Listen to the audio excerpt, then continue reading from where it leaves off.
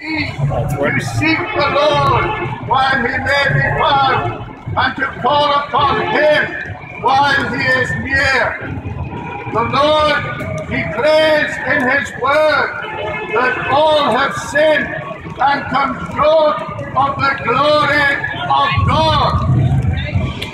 Rewriting God's law will avail nothing and no human consensus can alter his standard. By his standards, we have all sinned, we have all gone astray, and our guilt is there before God.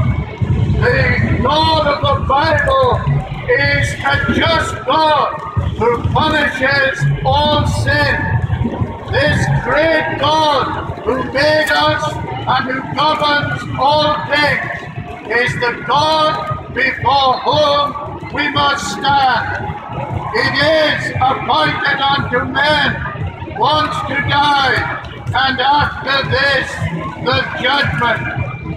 And when the text says, Oh, taste and see that the Lord is good, it's speaking of a need to be delivered from the guilt of sin by seeking the Lord.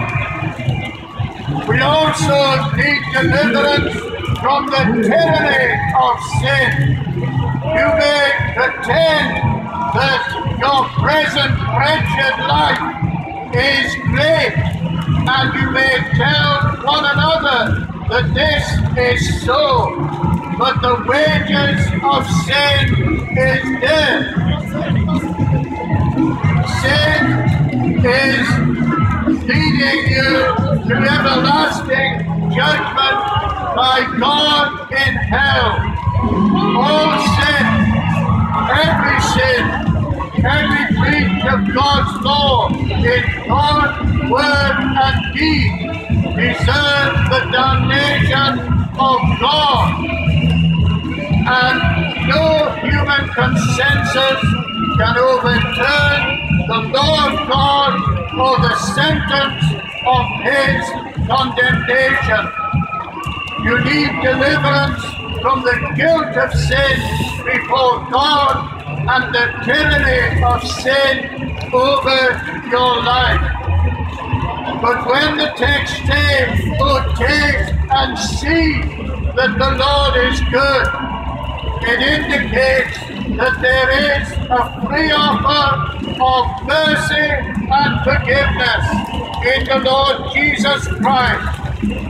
That it says to sinners who think they can never be other than they are, that there is hope, that there is mercy, that there is forgiveness for all kinds of sinners who seek the Lord Jesus Christ. The Lord Jesus Christ bore the guilt of sin in the place of sinners.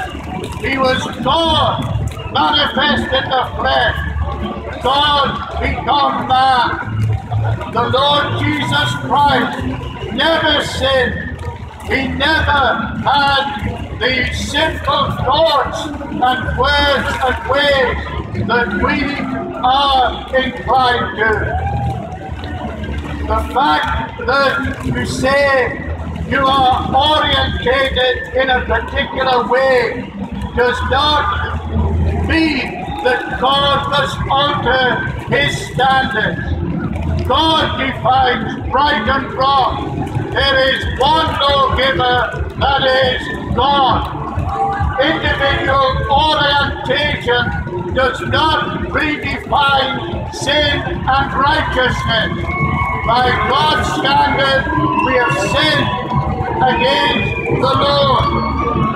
And the Lord Jesus Christ came into the world to save sinners by bearing the wrath of God in the place of guilty sinners. This is the Savior you need, the Savior you must seek.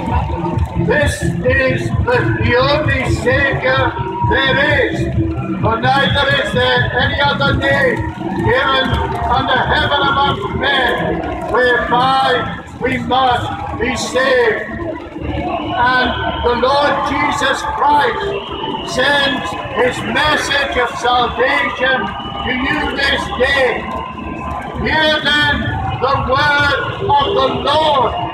Hear, you men of Sodom, to hear the word of the Lord.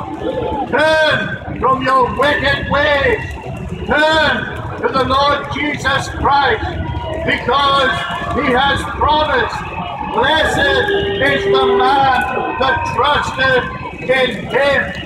Abandon your narrow-minded Christianophobia and seek the Lord Jesus Christ.